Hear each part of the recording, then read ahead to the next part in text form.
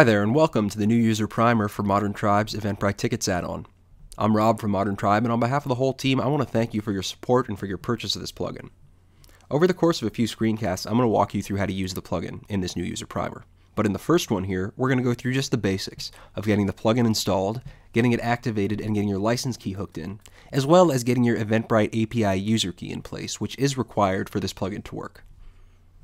Here we are on the dashboard of my site, and I'm going to caution that I'm assuming by this point you've already completed purchasing the Eventbrite Tickets add-on from the Tribe website and have downloaded it somewhere on your computer where it's easily accessible. From the dashboard, I'm going to come into Plugins and into Add New, and I'll select Upload. I'll pick the file wherever it's located on my computer and hit Install Now. And after it finishes working and says plugin installed successfully, I'll just hit Activate Plugin. That turns it on and I see this yellow message telling me that it's on, but up above I have this red message telling me that until I actually install the core product that this is meant to extend, I can't use this extension. Basically, you have Eventbrite tickets in place, but it doesn't know what to extend. Make sure you get the latest version of the events calendar. If you don't have it, go download it from the WordPress.org repo. Otherwise, if it's installed but not active, as is the case in my scenario here, just go down and activate it. The latest stable version at the time this video is being recorded is version 2.011, so I know that I've got it and I just want to hit activate here. And the red message is replaced by another yellow message that says welcome to the events calendar. Great. Let's go ahead and plug in our license now. To do that, I'm going to head over to events and into settings. Then I'm going to hit the licenses tab. Now before I go much further, I should note that even if you don't have a license plugged in, as long as you have your Eventbrite API user key, the plugin is going to work 100%. You're not going to lose any functionality without a license key in place. But you won't have access to support if you ever need to go to the forums and have our team help you out. And you're not going to have access to upgrades, which means whenever there's a new build released, which is generally on a monthly basis, you're not going to be able to get it. If you have a license key and you've purchased one, there's no reason not to plug it in, especially when you see how easy it is. So let's go grab it from the Tribe website. Here I am over on the Tribe website, and I'm logged in with the credentials that I set up during the checkout process. I'm going to go into Account Central, and I'm going to go into License Keys. I'll find an available license key for Eventbrite tickets. It looks like I have one here. It's used on two sites, but it's available for three, so I do have this third one. What I'll do in this scenario is just copy the entire string that makes up the license itself, go back over to the back end of my site, and plug that string in. I'll tab out of it, let it work for a second to validate the key, and when I get this green message that says valid key with an expiration date, I know I'm in good shape. If I saw a red message that said invalid key or expired key, that'd be cause for concern and I would need to follow up to make sure that got sorted. But when you have a valid key message like this, just make sure that when you save changes, it remains after save. And if it does, you're in awesome shape. In fact, if you want to double check that it actually saved, come back over to the license keys page on the tribe site and refresh it.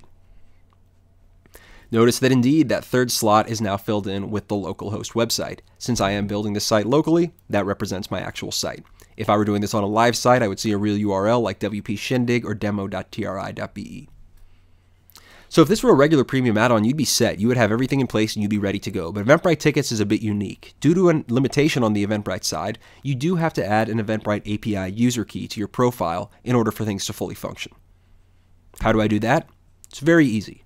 First thing you want to do is go over to the back end of your site. And this is not done in the settings panel in any way, so keep this in mind. The API key is added on a user by user basis.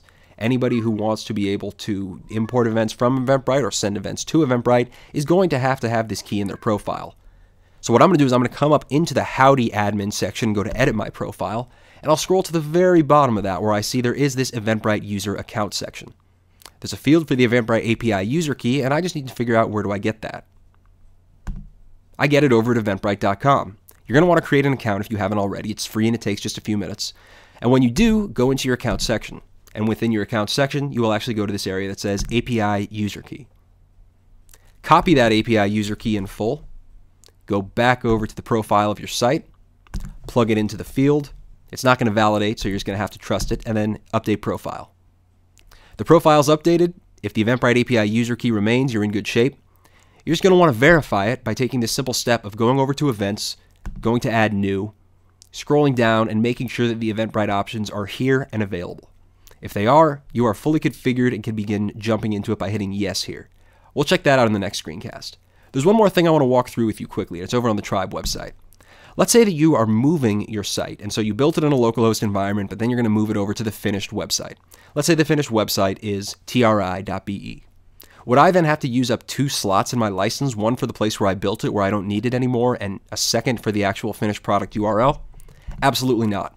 In that case, I would just come in here, hit this disconnect now button, click OK when prompted, let it unregister that key, and then come back down to make sure that it actually did remove it from the third slot.